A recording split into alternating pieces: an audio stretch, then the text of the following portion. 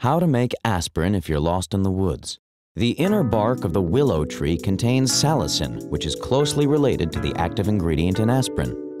You will need a willow tree, two teaspoons of inner bark, a cup of water, and a fire. Optional, a sharp knife. People who are allergic or sensitive to salicylates such as aspirin should not use willow bark. Step 1. Find a tree in the willow family. Examples include quaking aspens, big tooth aspens, white willows, black willows, crack willows, purple willows, and weeping willows. Step 2. Cut into the tree's bark, strip it off, and isolate the inner bark. In spring and summer, the bark can be removed in long continuous strips.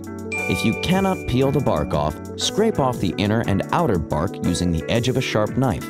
Step 3. Simmer 2 teaspoons of the inner bark in a cup of water for 10 minutes. Let it cool before drinking.